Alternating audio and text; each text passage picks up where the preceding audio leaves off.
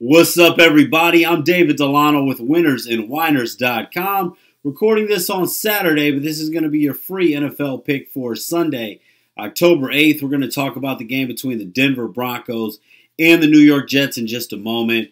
If you have not already, like, subscribe. I know I say it so often, so if you've heard me say it before. I know that you have already subscribed, and I know that you have already following me on Twitter at GetSportStrong. Uh, we know we have the premium picks in the description. There's a link for that. There's also 60% off promo code. Also, you're welcome as always to sign up for the sports books with first time deposit bonuses. Uh, Caesars, DraftKings, FanDuel, BetMGM. BetMGM giving up to uh, $1,500 in first bet insurance if your first bet loses. We're going to go ahead and get into this. Um, recording this before the results on Saturday. Um, Friday, we had a best bet win with uh, Nebraska Cornhuskers and also a free pick winner in an obsolete game over the total between Harvard and Cornell. But we're talking some NFL football here, and I do have a best bet up on the site.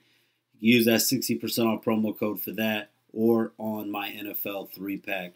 All right, so this uh, this um, AFC Championship preview between the New York Jets and the Denver Broncos. The pick here I'm going to go with over 43 and a half points. Um, I mean, the obvious Denver Broncos dead last by far in the NFL, allowing 8.9 yards per play.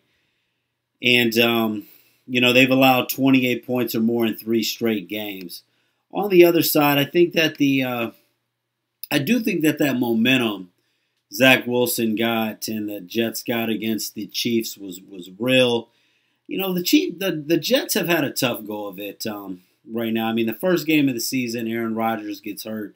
The other three losses, the well, the three losses that they had after pulling off that win against Buffalo, I mean, they faced the top uh, an offense that's in the top nine in yards per play allowed in the Dallas Cowboys, the New England Patriots, and the uh, Kansas City Chiefs.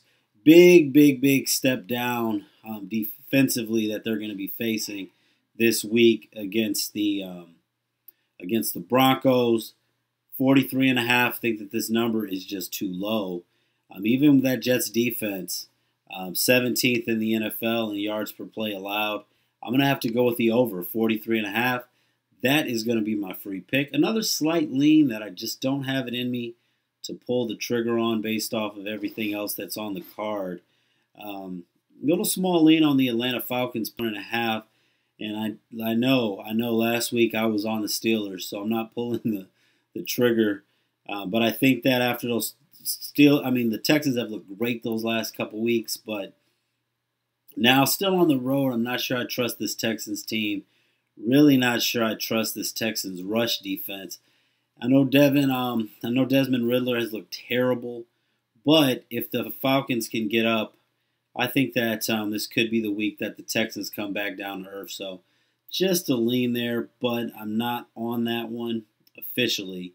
But free premium pick for me that I am on officially over 43 and a half in the game between the New York Jets and the Denver Broncos. Let me know what you guys like for this NFL Sunday, college football Saturday, Major League Baseball. Whenever you're watching this, I do have a best bet Major League Baseball if you're watching this on Saturday, and Probably one for Sunday as well. So God bless. Good luck. Thanks so much for watching. Let's have a great day.